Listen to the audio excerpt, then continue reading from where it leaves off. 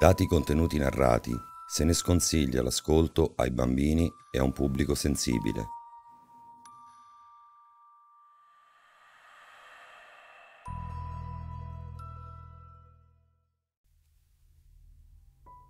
La nebbia era discesa come un sudario estinguendo ogni rumore, facendo sprofondare le strade di Firenze in una quiete da far accapponare la pelle. In quella notte di metà novembre il mio padrone, un anziano signore dalla fronte spaziosa e perennemente pensierosa, attendeva l'arrivo di alcune persone e aveva preteso che all'appuntamento fossi presente pure io. Il motivo mi era sconosciuto, ma di certo aveva a che fare con i segreti che custodiva gelosamente, tanto che avevo dovuto promettere che non avrei mai fatto parola con nessuno. Dietro di noi la mole incombente della residenza simile ad un grosso cubo rinforzato alla base da un contrafforte, accresceva i miei dubbi. Stregoneria? Socchiusi le palpebre. La mia mente, per quanto limitata, rifiutava quella spiegazione. No, si trattava di qualcosa di diverso e sentivo che mi sarei dovuto preparare al peggio. Da alcuni mesi ero al suo servizio e di cose strane ne avevo viste parecchie. Però quella rischiava di batterle tutte. Se non fossi stato senza un tetto sotto cui stare, l'avrei salutato con gioia. I suoi modi di fare lo rendevano un tipo al di fuori del comune. E la cosa preoccupante era che tra quelli che conoscevo come suoi estimatori figuravano personaggi importanti. Lo ritenevano uno spirito innovatore e assai spesso li avevo uditi rivolgersi a lui con l'appellativo di maestro.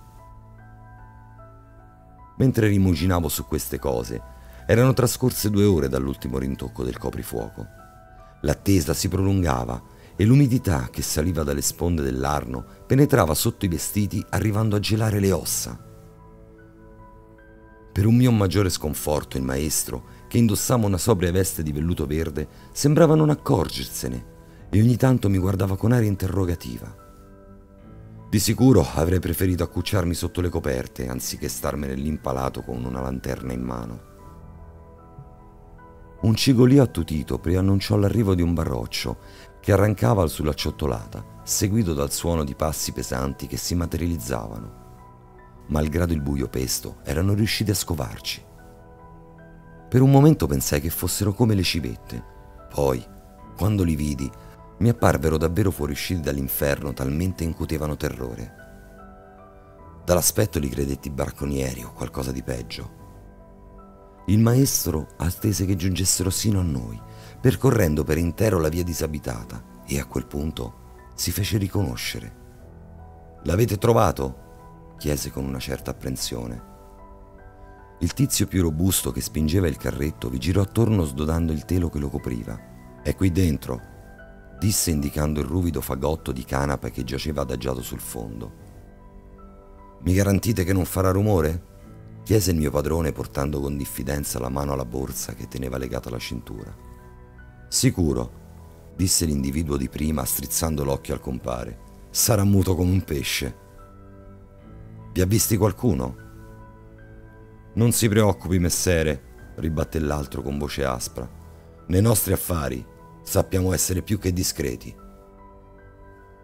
Non so come il maestro potesse conoscere gente del genere Dire che apparissero poco raccomandabili significava far loro un complimento.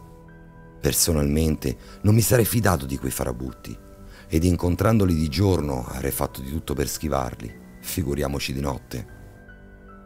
Il più losco dei due figuri si fece più vicino, entrando nel cerchio di luce della lampada che reggevo e mostrò la faccia truce e butterata dal vaiolo. Aveva una bella scorza per essere un sopravvissuto. Se non le sta bene come lavoriamo, non ha che dirlo. Può sempre cercare qualcun altro che le procuri carne fresca per i suoi giochetti. Non so se mi spiego.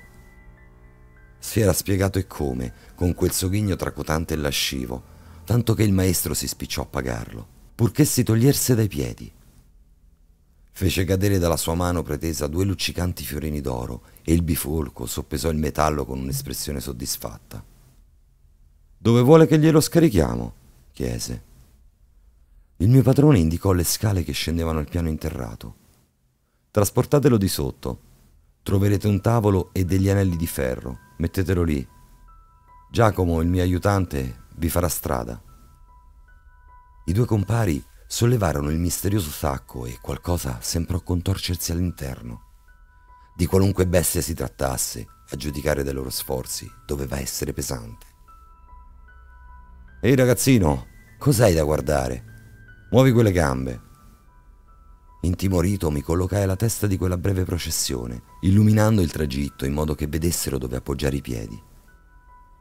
Li sentivo sbuffare alle mie spalle, ma a tratti mi sembrava di cogliere un suono più cupo, come un ringhio soffocato, che faticavo a interpretare.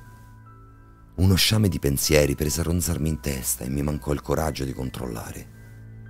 Magari si trattava di una belva feroce. Dal profilo poteva anche essere un grosso lupo. Ormai ne erano rimasti pochi, ma non avevo nessuna voglia di incontrarne uno che mi azzannasse la gola. Una paura strisciante si impadronì di me.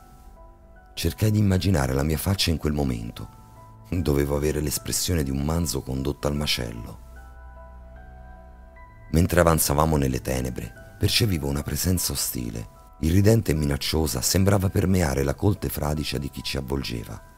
Sì, sapevo di essere un vigliacco, ma che ci potevo fare?